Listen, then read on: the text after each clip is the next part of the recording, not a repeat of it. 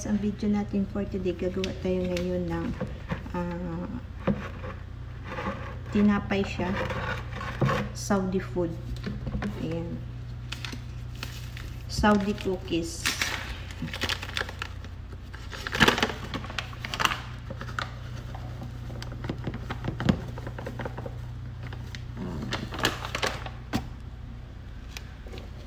Ayan guys, gagamit ako ng 4 cup na flour. Ayan, all-purpose po itong ginamit ko. Ngayon ay nasa 2 cup po siya.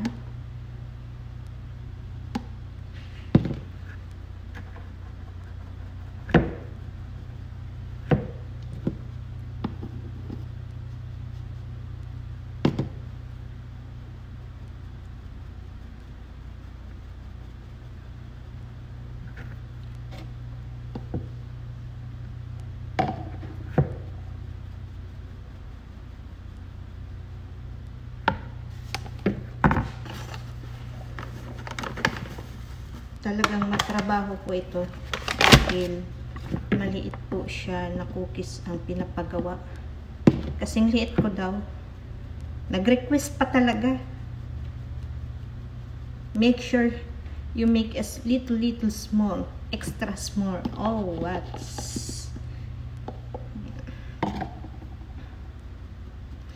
Gagawa daw ng extra small na cookies. Ayan Ayan guys, tapos na.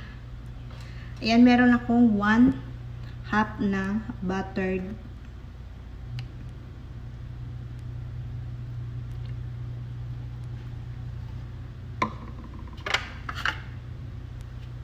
Gagamit ako ng yogurt na 170 grams.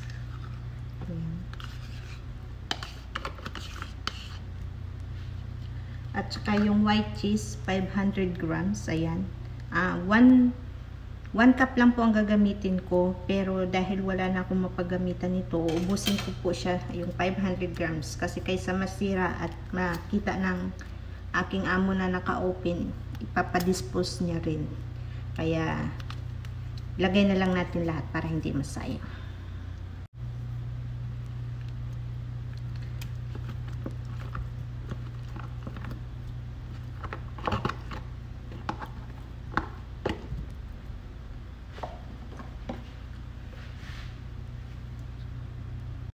Ayan guys, maglalagay ako ng kamon powder. Ayan, 1 tablespoon.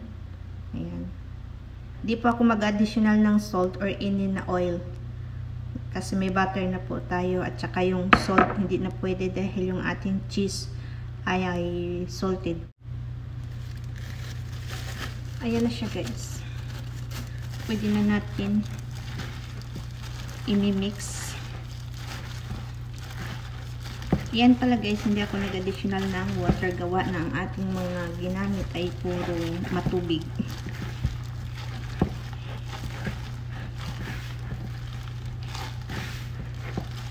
Inimix ko lang siya ng bonggang-bongga.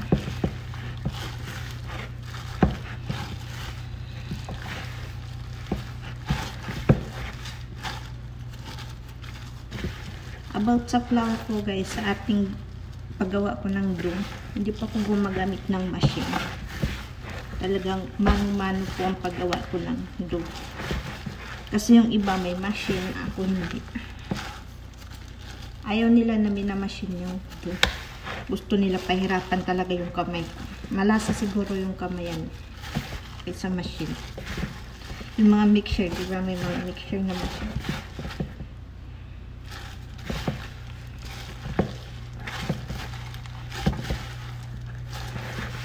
Kahit naman guys magmanuman importante ay malinis ang ating mga daliri.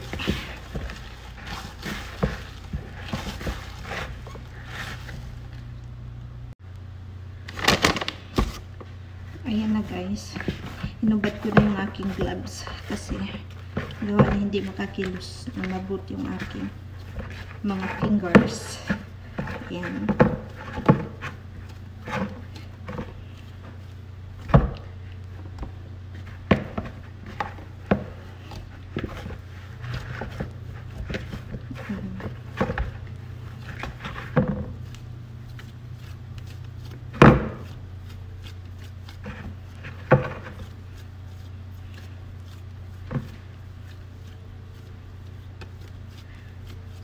papares ko lang siya ng mga one half hours or kahit na 20 minutes hindi naman kailangan to ipapa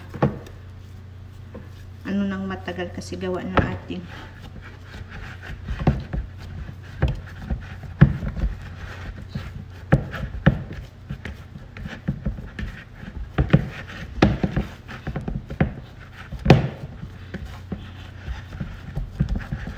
Yan guys, maganda yung ating dough. Yan. Malambot siya.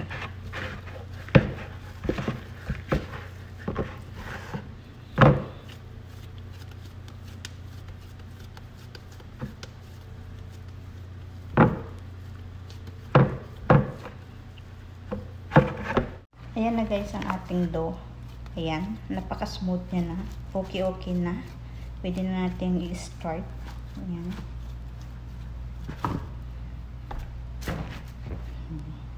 Ito pa lang aking gagamitin na pang-topping sa taas yung ating yung ko na tawag dito nila yung kumin zahtar tsaka yung ating uh, linga. At yan. Yan ang ilalagay ko sa taas. Wala pa yung isang kulay black. Wala naubusan ako yung seeds na black. Kaya yan ang apat ang ilalagay natin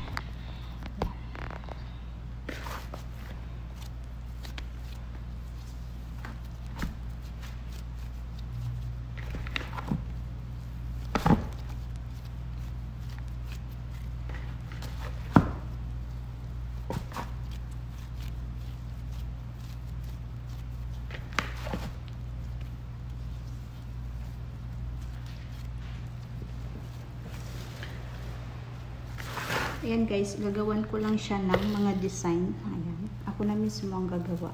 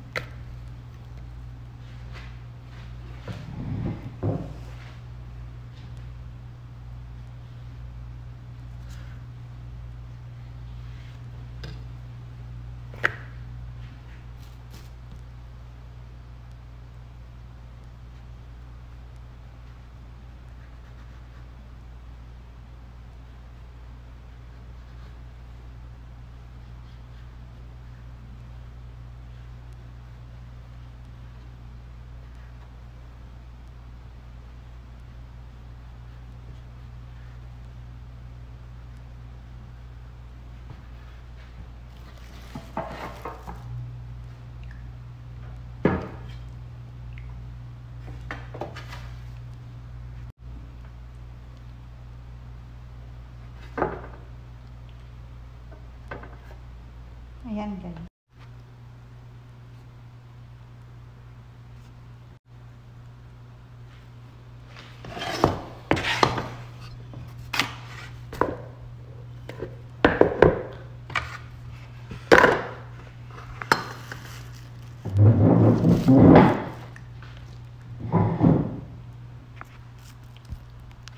Ayan guys, lalagyan ko na siya ng egg yolk.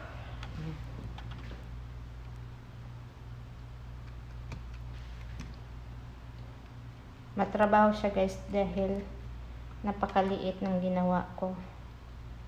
Sundin natin yung request niya. Ayan.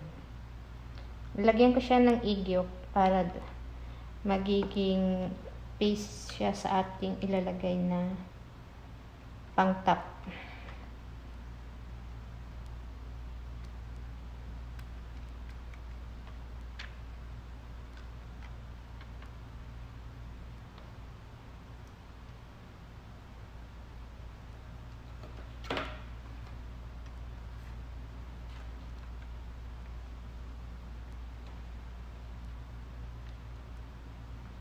Hindi na ako nagawa ng ibang design kasi matrabaho. Kaya, yan lang. Pang mabilisan lang to. Kasi, babaunin ng amo ko papuntang Riyadh. Ang amo kong lalaki doon kasi siya guys nagwo-work na. Kaya, ito kasi ang ginagawa ko. Uh, hindi siya mabilis masira. Pang matagalan to siya guys na cookies. Ayan.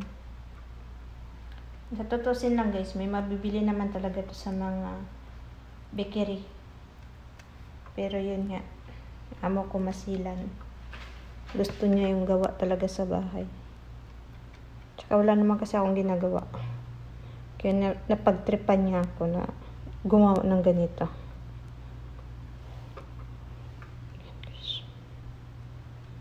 Ayan. Pinainit ko na yung ating oven. Ayan.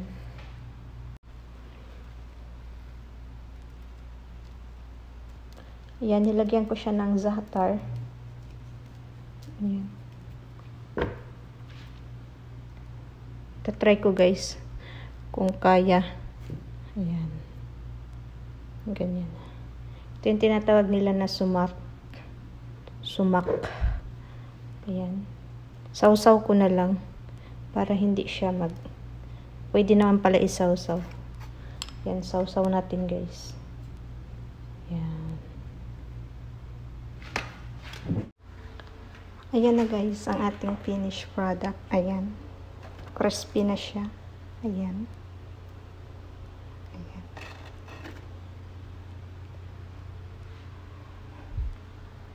Oh. Cute neto.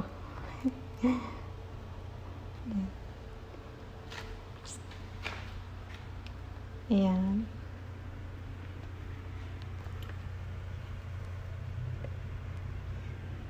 Crispy na siya guys. Sarap. Ayan yun.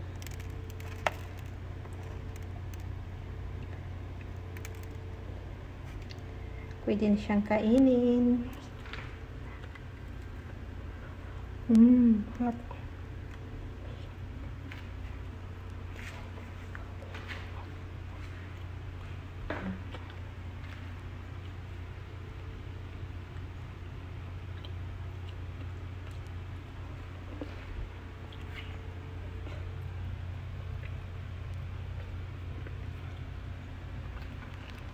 Thanks guys for watching.